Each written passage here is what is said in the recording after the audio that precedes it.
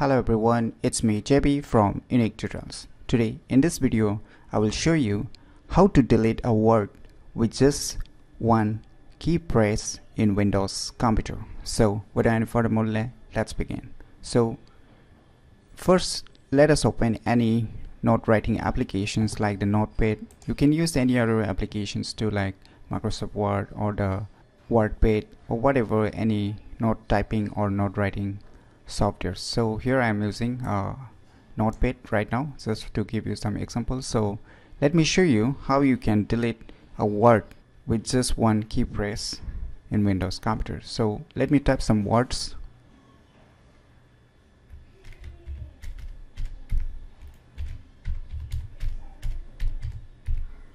So you have seen here I've written some words. So when you click on the backspace it will just delete one alphabet one by one. So suppose you want to delete this single word in just one click or one key press.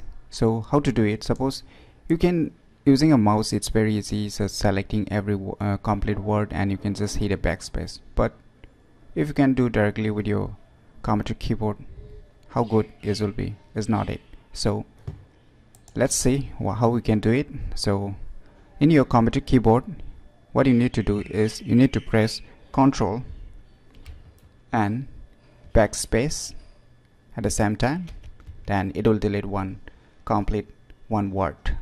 It will not delete one by one like when you are hitting uh, backspace then it will delete a single alphabet. But if you want to delete the complete word then you just press Ctrl and press backspace then it will delete uh, one word.